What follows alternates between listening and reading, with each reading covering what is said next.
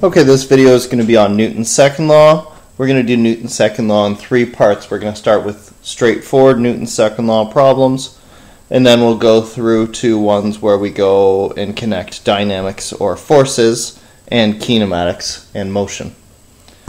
So an object that is subject to an unbalanced force will accelerate. The key here being unbalanced. Just because there's a force acting on an object doesn't mean that it's going to necessarily accelerate. Um, it has to be a force that there isn't another force balancing off. Um, or when you add up all the forces, the F net for this law to apply does not equal zero. With that, what happens then is that the acceleration is proportional to force, specifically the net force. And what that means is the harder you push on something, the faster it's going to accelerate. And similarly, the acceleration is inversely proportional to mass, which means the heavier something is, the uh, slower it will accelerate. Now combining those into an equation, A equals F net over M. Usually there'd be a constant in this kind of equation, but that constant is set to 1, and that's based on the unit Newton. 1 Newton is equal to, if I rearrange this formula, F net equals ma. 1 newton is equal to 1 kilogram times 1 meter per second squared. And so since the units all work out, we do not need the constant, and we can simply use this equation. I like this equation right here because I think it's the sensible one that connects the uh, abstract things of net force and mass to the observable result, the acceleration, but this is the equation you're going to see in all books and all textbooks. That's how it's always written. All right. So a frozen turkey, an important aspect in any physics, any physics question, is resting on a frictionless table. There is an applied force of 15 newtons to determine the acceleration of the turkey. So in these problems, we usually will do a free body diagram. Mass should be in kilograms, as it already is and the applied force of 15 newtons. My choice of direction here is arbitrary, but I think if we think of this turkey sitting on a tabletop, then it makes sense that if you're pushing on it, it's in the horizontal direction. Keep in mind there is a force of gravity acting on this turkey and a normal force. And that's what keeps it from moving through the table or anything like that. But what we're assuming here is that f, g, and fn are equal to each other, at least their sizes are. And so they cancel each other out. So these forces exist. To do a proper free body diagram, I should include them, but it's not necessary to include them on a free body diagram that you're simply using to do the problem because on a flat horizontal surface, this force of gravity equals normal force bit is so common that often it's omitted. Anyways, I'll leave them here, and um, that's fine for this problem. In the future, we may choose to put them on or not put them on, depending on the situation.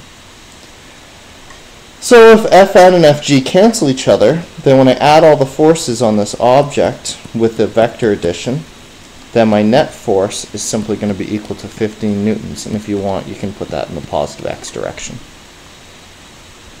Newton's second law says F net is equal to ma. So 15 newtons is equal to 7.5 kilograms A. And if we divide both sides by 7.5, oh, an extra decimal place there. Try that again.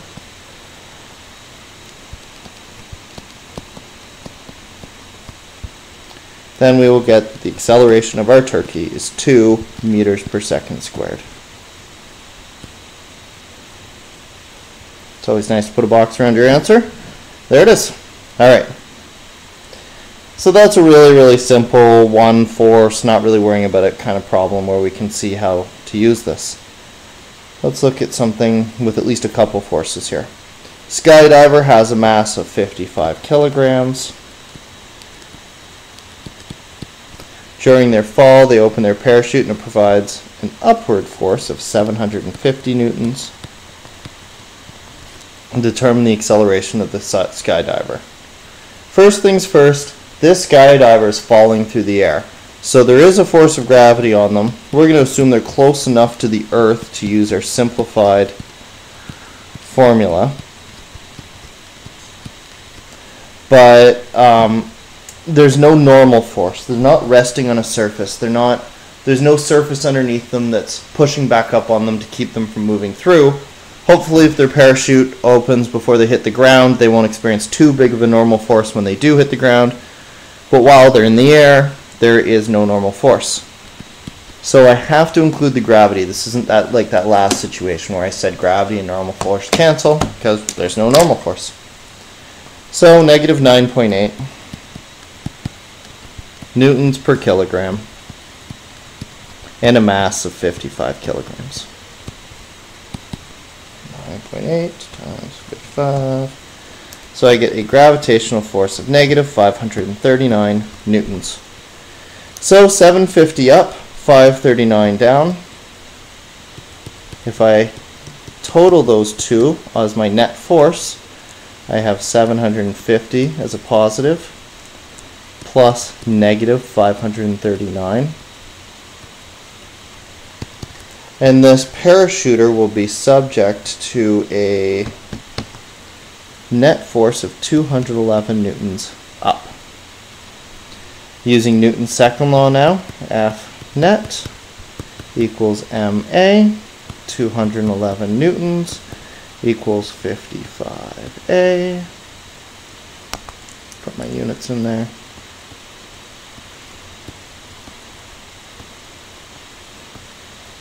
Dividing both sides by 55 kilograms. My acceleration is 3.84 meters per second squared. Interesting that the acceleration would be going up. If we think about our, our parachutist, here they are, here's the great big parachute. Before the parachute opens, they're going to get going down pretty fast. When the parachute opens, it's going to have to actually accelerate them up to slow them down enough that hopefully they don't hit the ground going too fast. So you might be thinking, it shouldn't the acceleration be down because this object is in free fall and it's moving down. But remember, it's moving down, but it's accelerating up. So when your movement and your acceleration are in opposite directions, that's when you have an object that's slowing down. So your velocity is becoming more upward, even if you don't end up going up at any point. So there's a, a parachuter and a frozen turkey. We'll go on to the next uh, video with some more complex Newton's second law problems.